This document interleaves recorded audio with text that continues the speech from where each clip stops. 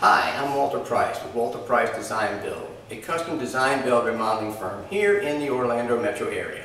Today I'd like to talk to you about an element most people will find in the kitchen, the microwave. In one of our newly designed kitchens, you probably won't see it hanging over the range. You probably won't see it sitting on the counter. We've probably tucked it away in a base cabinet in an island, behind some doors on the wall, or in today's newest version, in a microwave drawer base. This is an excellent location to get this microwave out of the line of sight and creating a much more beautiful, unified looking kitchen. This location is also excellent for universal design.